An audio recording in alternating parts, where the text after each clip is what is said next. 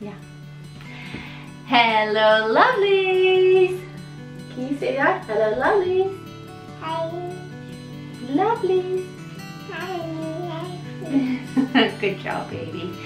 Hello. So I guess this is the benefit of maternity leave. I finally get to do some videos for this channel. So this video is about how I prepare for postpartum, second time around, and having a toddler. I already kind of wanted to do this video, but I didn't want to promise it and then not deliver. And then on my previous video, how I prepare for natural childbirth, some of you asked for this video in the comments, so I thought I should really do it. Plus, I thought it would be fun for me to do this together with you. I am putting together a couple of postpartum things today.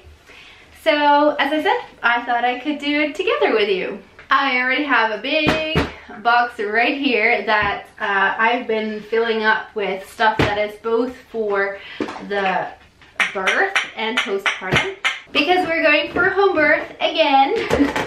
And um, which is if you don't know quite common in the Netherlands. It's gonna be a challenge filming with Noel down there. But we're gonna try. As I was saying home births are very common in the Netherlands. We have really, really well-trained midwives in this country. Okay, so I am trying to film, but it's impossible with my chatty little man right here. So I guess I'll have to try and film later on. so see you then. Ready to try again. So hopefully what I do now is not actually wake Noel. because he is sleeping across the hole and you can hear everything pretty good here. But uh, fingers crossed. We ended up going to the store one last time to get a few more last minute things, which was kind of stupid to do. You know, when you're hungry, you shouldn't go to the supermarket, right? When you're highly pregnant and you're nesting, don't go to the baby store. I probably bought stuff that I don't actually need. Well, I might need it. I do believe that this time around it will save you lots of trips because last time being a first time mom, of course, you're not always going to know what you're going to need. And some women go one way that they buy absolutely everything on the list and double and even more and anything that's in the commercials. And I'm on the other side. I love a minimalistic lifestyle. I'm like, eh, we'll see if we need that. Which meant that you don't have to go to the store a couple of times. He didn't mind. He likes driving. He likes running errands. But this time, Daddy, you got to be here. You got another big boy walking around as well. now, I've got a couple of things that I want to share with you. And um, I'd say that the postpartum essentials that I want to share with you are focused at healing. Kind of makes sense, right? That's what I do. I think what I really missed out last time is preparing properly for a postpartum period. Yes, I did prepare quite well. There were a couple of things that I knew how to do homeopathically and um, in case milk wasn't coming in, etc., etc but I wasn't aware of how important it was to get my sleep. I just assumed, eh, you can't get any sleep. And it was quite hard with Noel. And at the time, you don't also work across the country, meaning he'd have to get up at 5 in the morning. And so I didn't want to wake him during the night, which meant that I was dealing with all the night stuff. And as you may already know, Noel was a terrible sleeper. He's great still, but a hundred times better.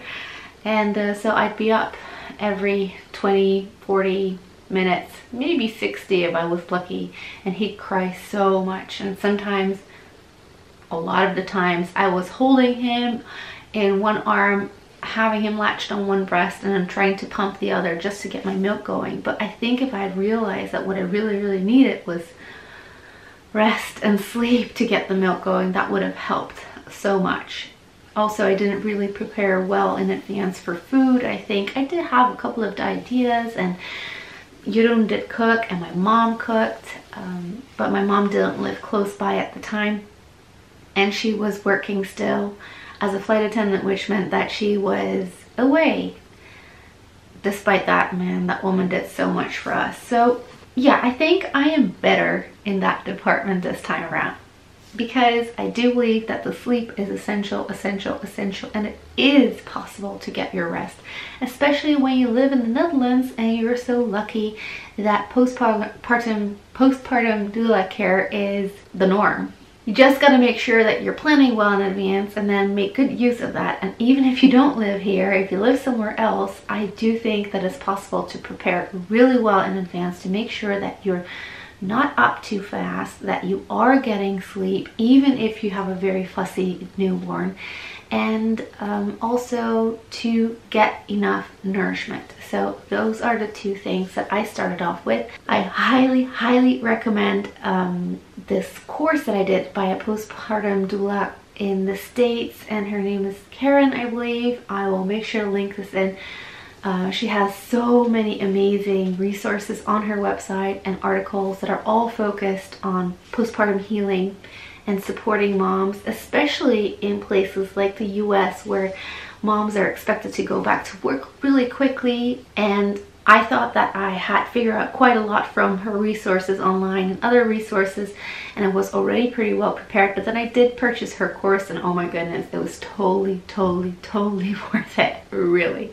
But her worksheets are absolutely fantastic um, to help you prepare for that time. She, she calls it preparing for baby moon and I love it because baby moon is always associated with going on a trip in advance and yeah course, if you have the opportunity to do that, that's great for your relationship and fun. But I would invest in the postpartum baby boom period for sure. So with our history of sleep issues, you can imagine that a sleep strategy is big for us. So Jeroen is working mostly from home now, which is really convenient. But we also have an older toddler that doesn't always sleep great. He still sleeps with me as well. So that's to be challenging. So our big strategy is mommy goes back to bed until she's gotten her 10 hours of sleep. And basically with a newborn, you can imagine that you are up every few hours. So you're going to have to go back to bed frequently and try to sleep to get those hours. I don't know if it's going to work out, if I'm not going to be too adrenaline rushed to actually sleep, but we're going to try. And even if that means I don't get my full 10 hours or you know even 8 would be amazing I think for this time period. So even if I'm not ready for the day till noon, that's fine. This is the focus. We're going to focus on this. The second big thing that I have been focusing on is food, as I said. Making sure that there will be enough nourishing food for me so that I can heal properly, so that I'm ready to go in a couple of weeks and to start picking back up some responsibilities as a mom of two and as a wife and a homekeeper and lastly of course as a business owner and to make sure that my milk supply will be really good so that I can give everything that baby needs.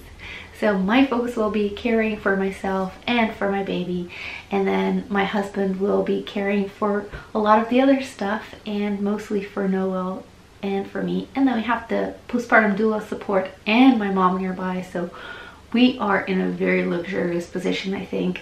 So my mom will cook several times, his mom will cook several times. I finally found a meal service that has organic food and like good quality food. So we'll be ordering several times from them.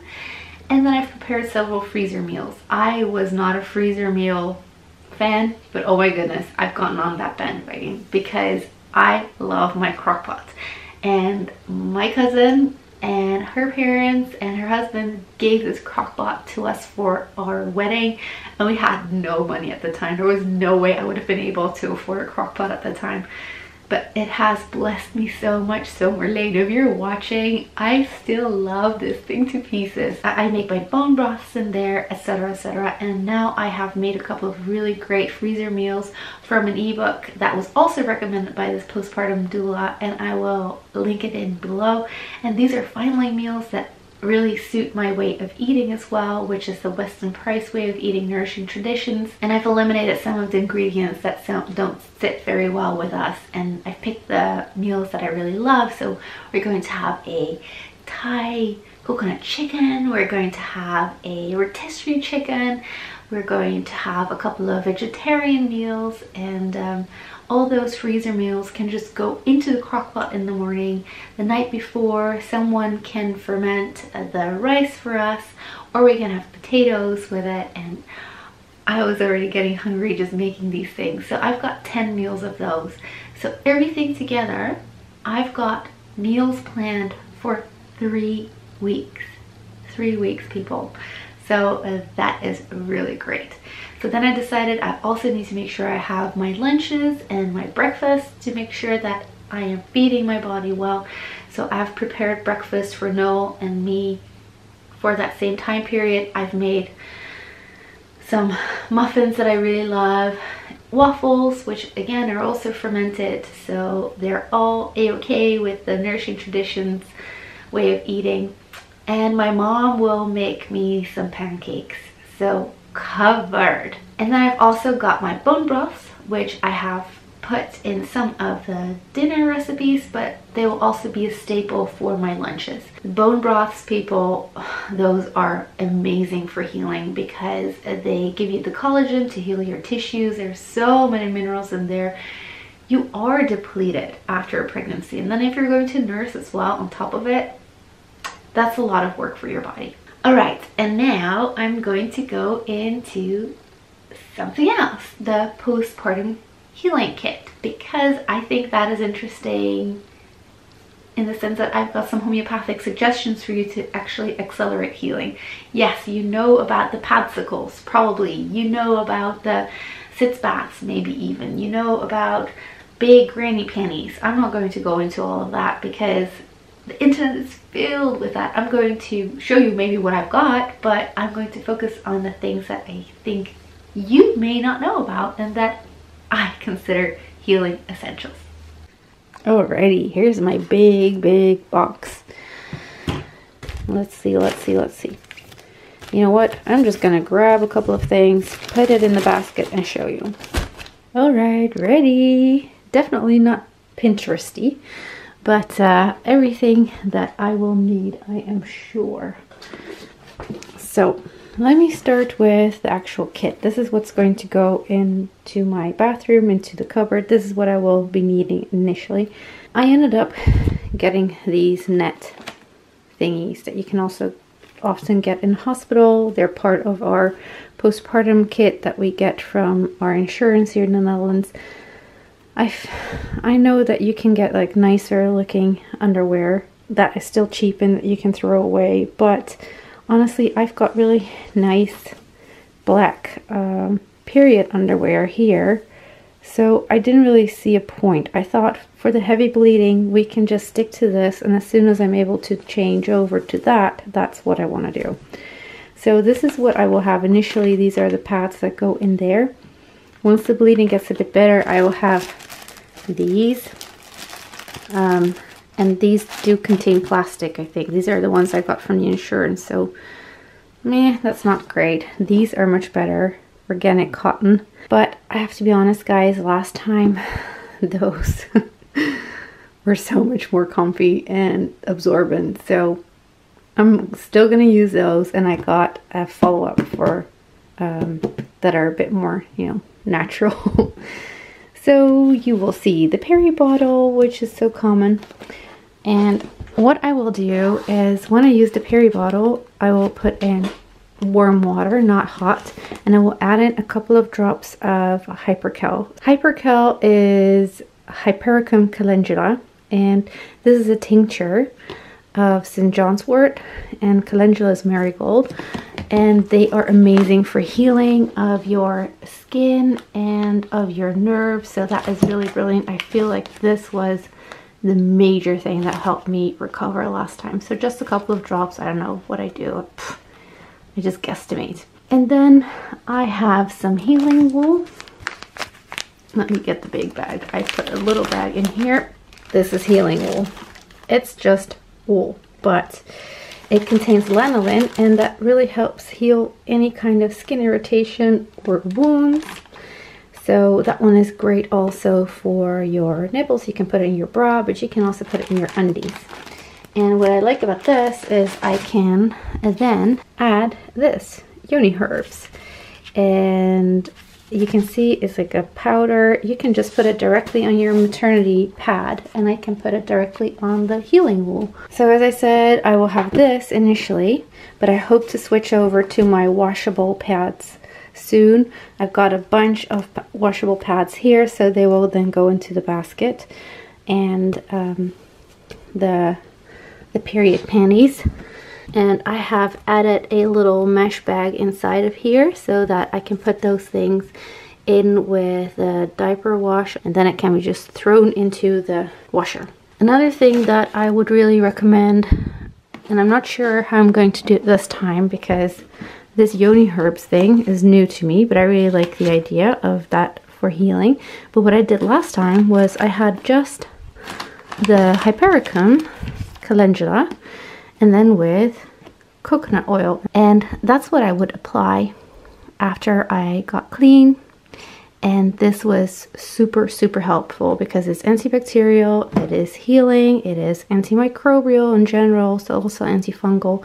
And that was really comforting. The other essential I'd say are your sitz baths and you can do that in loads of different ways. And this is the way that I will do it. So you can either do it in a bath. If you have a bath you can just sit in it.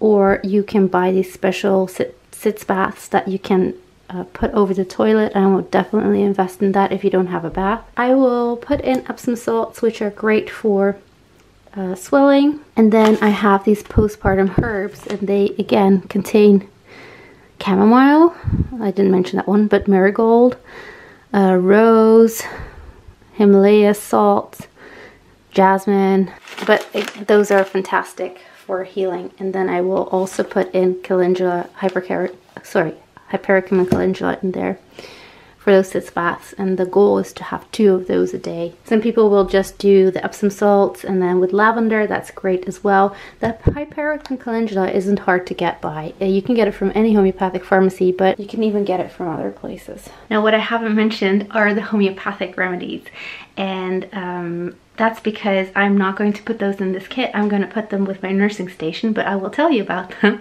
And that is, first of all, arnica is your best, best, best friend. It's for bruising, it's for the wounds. And then there's hypericum, which I've mentioned earlier already. With the hypercal, you can take that homeopathically as well.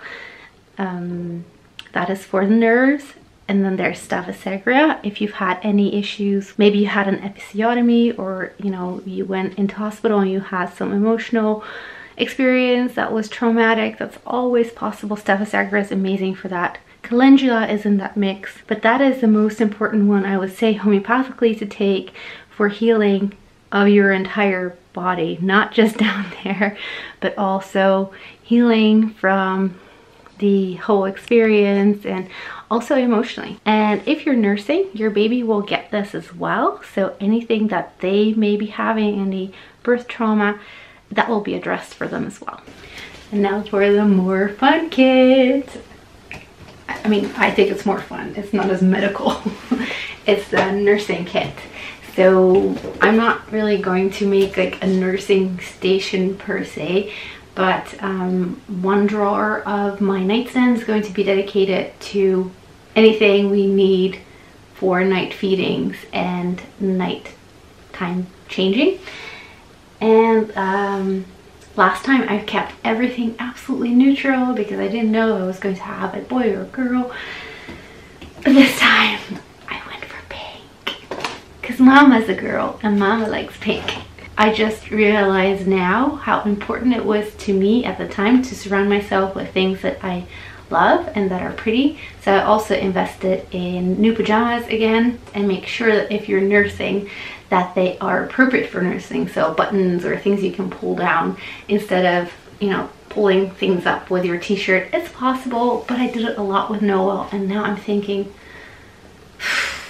there's an easier way.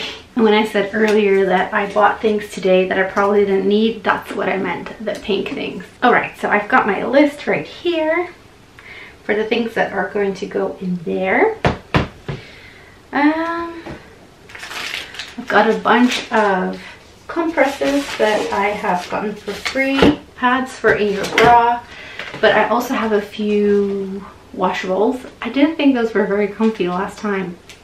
I, maybe I got the wrong ones, but uh, I, I will put them in there.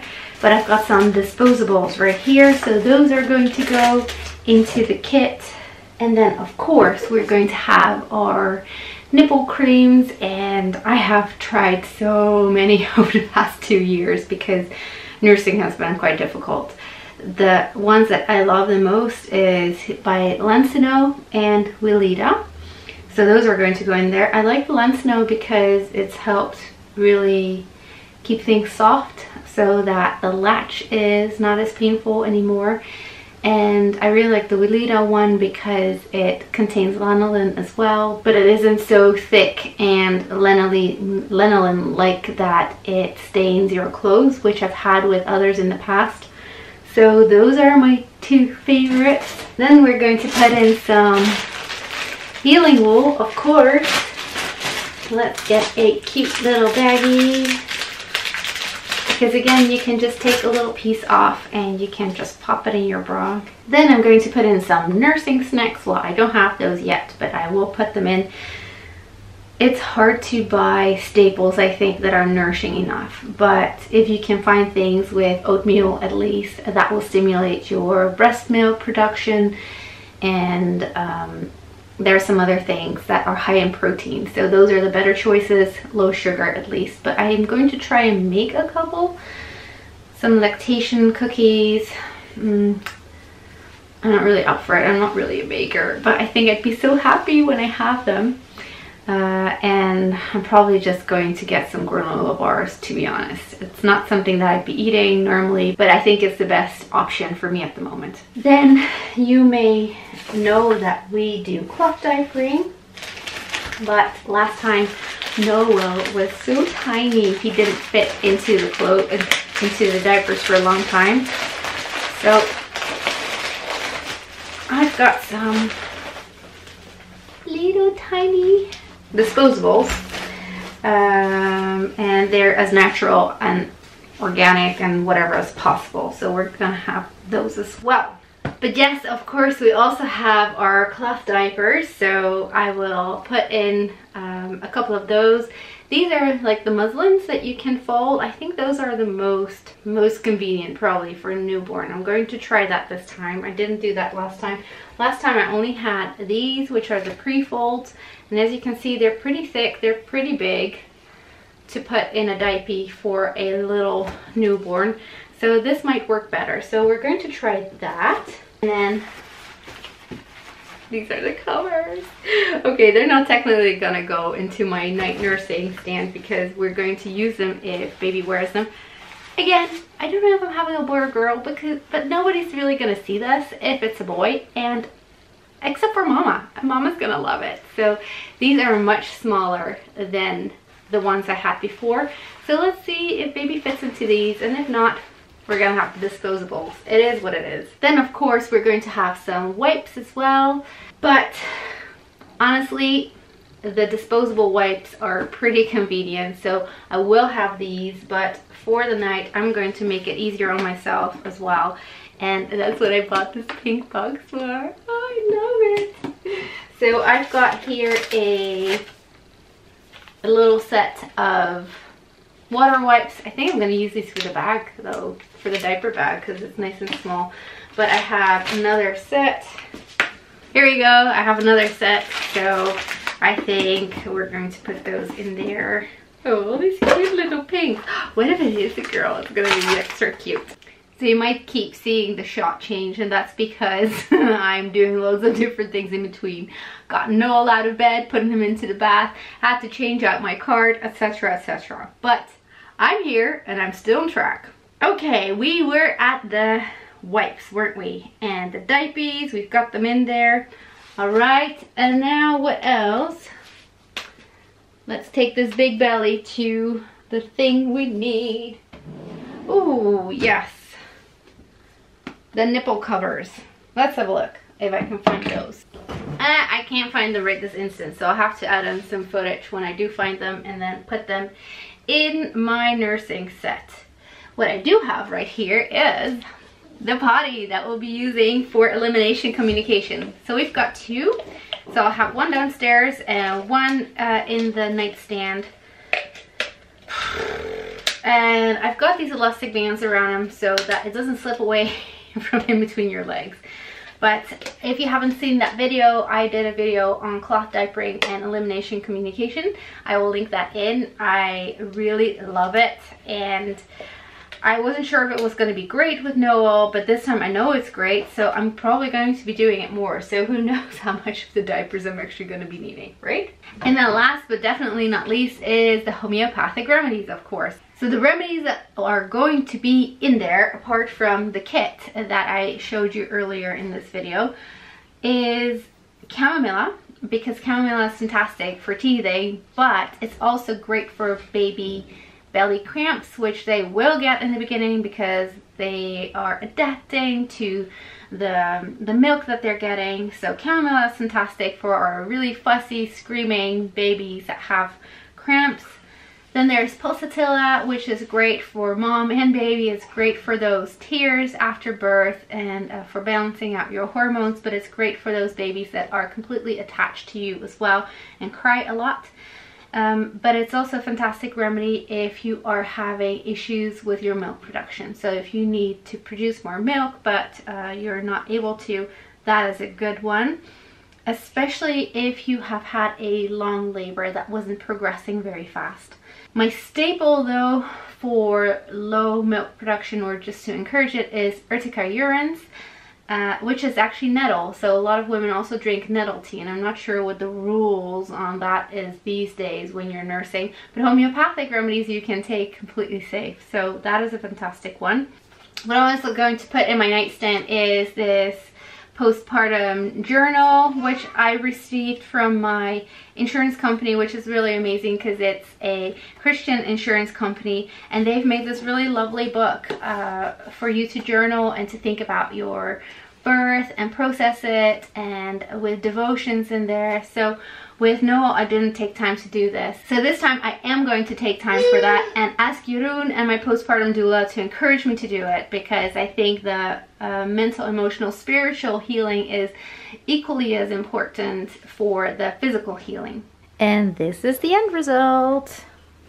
So here at the bottom is mostly the baby stuff, the diapers, and here are the nursing pads, everything that I told you about. I did find my nipple shields, that's what they're called. And I also actually put in here the baby nail file and the scissors because I've discovered that by the bed is usually when I discover that the nails are too long.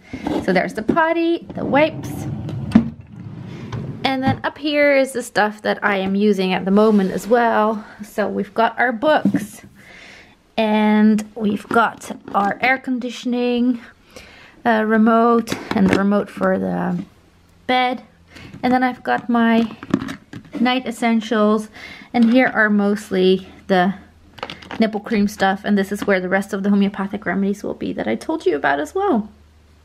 And back here is a little music box. This used to be my dad's, so it's a nice heirloom. And uh, it's soothing to know and I bet it will be for the baby as well. So as I was editing this video, I realized there was something that I had missed and I was kind of doubting if I was gonna put it in because it's already so long. But I think it's pretty essential because it is about postpartum healing having a toddler already what I have done for this postpartum is plan a lot in advance what to do with him and how to keep the daily routine going. Because of course as a mama you're so used to doing so many different things at the same time things that you do every day things that you do every week and you don't want to have people coming to your bed and constantly asking you oh what else shall we do? blah blah blah blah so I love following the Fly Lady system as it is. So I have a weekly routine and I have a daily routine. And what I did is just adapt those for the postpartum period and included Noel's schedule basically. And I have printed off 15 of the dailies. I know it's a lot of paper, but I thought it would be just easier and those can just go on the table and Jeroen and my mom and uh, my postpartum doula and any visitors that can come around will be able to look at the list and just pick anything to do. And of course, there are a couple of things that will be typical for Jeroen or typical for the postpartum doula, but there are also things on the list like water the plants or maybe vacuum the ground floor or walk Didi or comb Didi, you know, something like that. And that is something that a visitor can do. If they come around to see the baby and have some bubbly or some coffee and some uh, treats, then they usually will ask, is there anything you, I can do for you? And it's hard to think of something in the moment. So it's better to have something ahead of time. So they can just check that off. And this way Noel will have his routine as much as possible and um, the whole household will keep on going so that there's not a whole amount of work uh, when I am able to get up and get downstairs and then freak out.